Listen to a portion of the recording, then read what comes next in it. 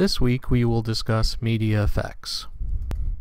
You probably would be hard pressed to go out and find someone who can say media have absolutely no effect on individuals or society.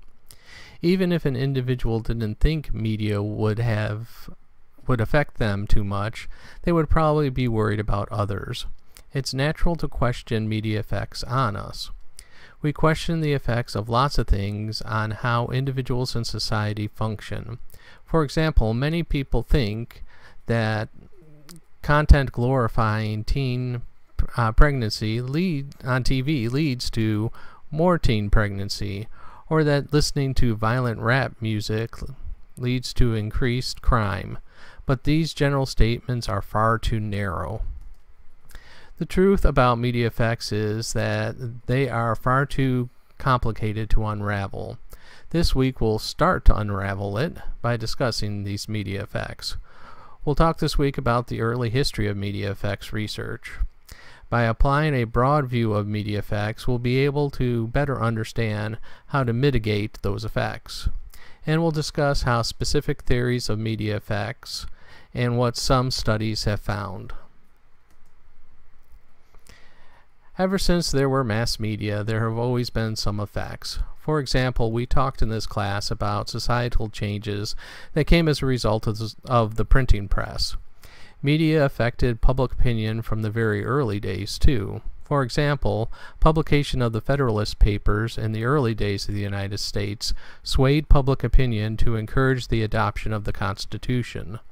The book, Uncle Tom's Cabin, helped fuel the abolitionist movement before the Civil War. Around World War I, scientists started to explore media effects. But those early scientists assumed very powerful effects, especially from newer electronic media such as radio and film. Early research took the metaphor of a bullet and suggested that, just like bullets, media messages were simply shot at unsuspecting audiences who could be strongly affected by them. Sometimes this effect was referred to as the hypodermic needle model. I learned that one rather than the bullet effect. So if you hear me say hypodermic needle more than I say magic bullet, eh, it makes sense. Um, and also, if you Google magic bullet, you come up with uh, research about the Kennedy assassination. So uh, I kind of like hypodermic needle better. So. Anyway, uh, it wasn't until World War II that scientific research started to debunk the hypodermic needle model of these strong direct effects. The new era of media effects thinking was that of limited effects, which essentially said that some individuals under some circumstances were directly affected by the mass media. But the effects were not seen on most people, and that most people were shielded from those direct effects by some other societal, social, or psychological force. For example, while it might be easy to simply point out point to the fact that violent um, criminals may have played a violent video game, it's unlikely that just that factor caused the violence. Other factors such as mental health issues or history of child abuse are likely to lead to such actions as well. Today, most social scientists who study media effects take this limited approach where they focus on certain individual differences or social factors that may interplay with certain media messages to have an effect.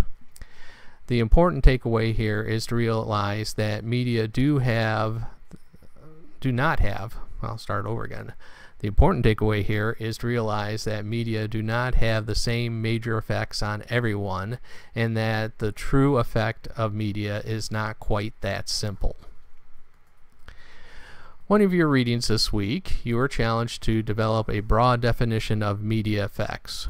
W. James Potter, the author of the chapter you read, lists a number of different qualities of potential media effects. I want to focus here on just a few. First, it's important to realize that effects may occur immediately after viewing media. They also may be long-term in nature. For example, a TV commercial can make you feel sad right away after viewing it. And that effect probably doesn't last too long. If you learn something from a TV program that you remember forever, well, then there's a long term effect. On the other hand, um, well, I already said that you I experience a long term effect. What I think is important to realize eh, that this is often uh, the problem. We can see those short term effects right away, so we focus on the short term effects because they're easier to notice. Long term effects are much more gradual and they are often harder to notice. Second, media effects are often thought of as negative. You know, violence on TV causes violence in society, but there may be positive effects also. For example, learning something from a documentary could be a positive effect of media, or the soothing sounds of classical music while you study could be considered positive also. Media effects can also be direct, meaning that they can happen only as a result of media exposure, or indirect, meaning that other factors may play a role.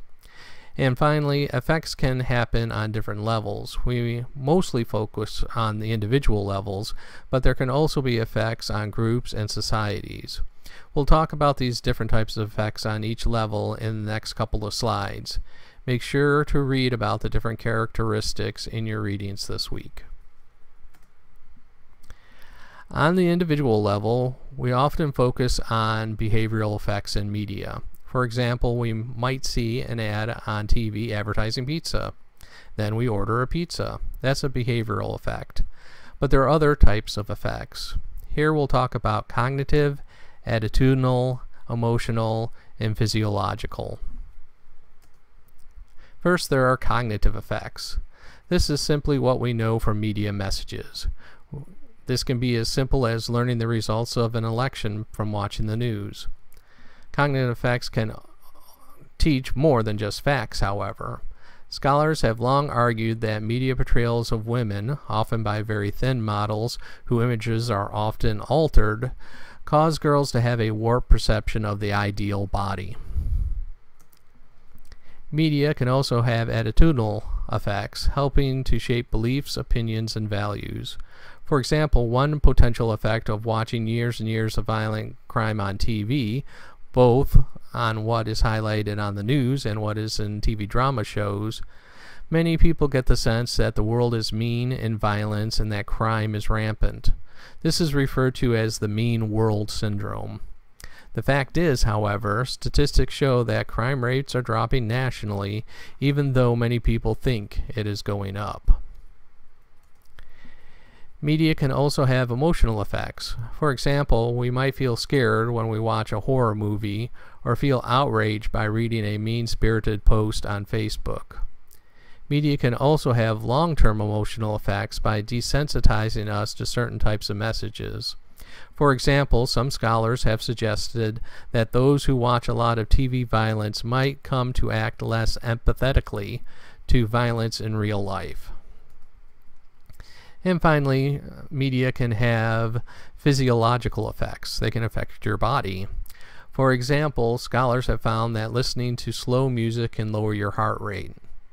Also, have you ever watched an action film on the big screen at a theater where it where it appears that the fast-moving vehicle is coming right at you, and as it does, you move to avoid the impact? You might not even realize you moved. Often these physiological responses are involuntary. These different types of effects can occur individually or in connection with one another. For example, certain media messages might teach us some fact that makes us happy and drive us to do some sort of action. So that reaches us on the cognitive, emotional, and behavioral level. Media can also have larger effects on society.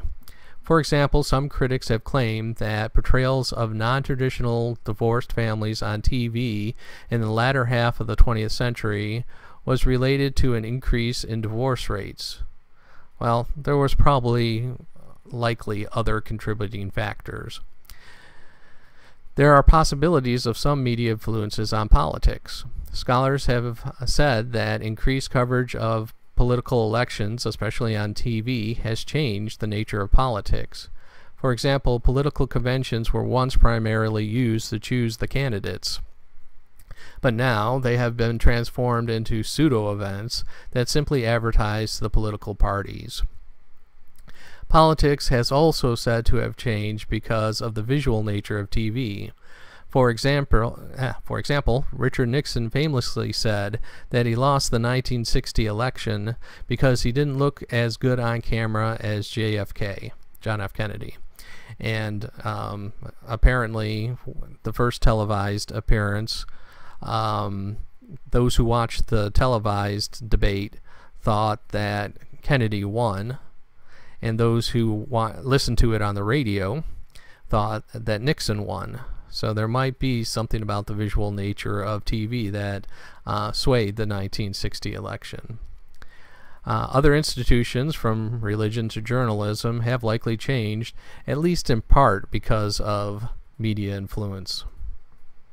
Though it's hard to specify precisely the changes caused by media, media and not by other forces, media, media certainly has had effects, but specifying those effects is a complex process. But as we start to realize the effects and control uh, the effects, we can start there, and by understanding the complexity, it'll help us control the effects as we move forward.